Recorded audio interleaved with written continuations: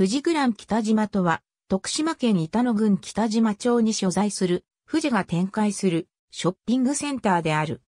2001年11月に、徳島市中心部郊外の板野郡北島町にて、オープン。もともとは、日清坊徳島工場の社宅などが存在した以外は広大な空き地であった。富士グラン北島が完成したことにより、四国4県への完全出店を達成する。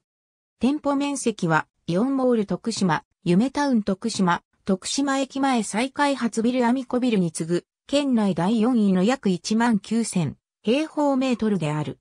3階には映画館、シネマサンシャイン北島がある。